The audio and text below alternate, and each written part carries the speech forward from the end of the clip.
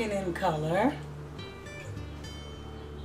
And sometimes when you're painting, you get a different effect. And just, like I put some textured marks here and I'm going to actually block that all in green. Um, the yellow is the undertone over it with the green and then I'm going to go over with texture and then I'm going to put the shadows and the different hues of green on that grass here. And I'm doing it with a large brush. I think this is a 10. This is one of my older brushes and it's about an inch and it's bristle. And these ladies, this is a piece called Out to Lunch and I'm redoing this piece also. Actually, the original a little bit more detail that you can see. But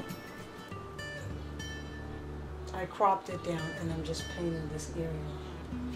But the original is different and um, one day I'll show you the original. So I'm going to stop for now and I'll come back and we'll finish up. And as you see the stages that the painting is going through, the layers and layers of color. And sometimes you don't always finish a painting in one setting. You start it,